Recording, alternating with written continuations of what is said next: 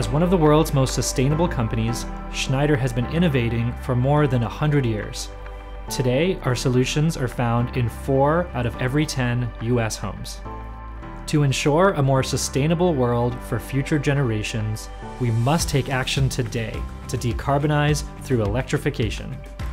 So, what is home electrification? Homes make up about 20% of US carbon emissions. To make a meaningful impact, we must transition from combustion powered appliances that use carbon emitting fossil fuels, such as oil and natural gas, to electricity generated from renewable energy sources. This transition is called electrification. Home electrification has two major benefits. One, electricity lends itself to digital management, and when we can see what we're using, we can manage our usage to be more efficient. And two, we can leverage renewable resources like solar for cleaner energy.